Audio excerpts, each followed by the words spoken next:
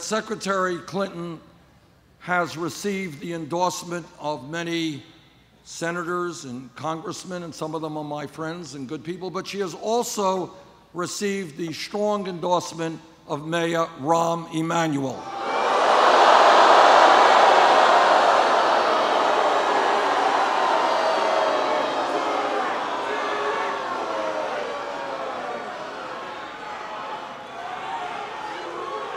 So let me say,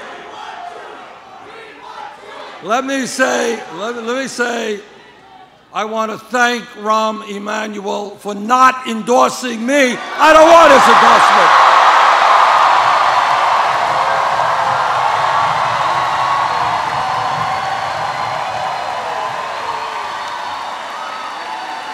I don't want the endorsement of a mayor who is shutting down school after school and firing teachers.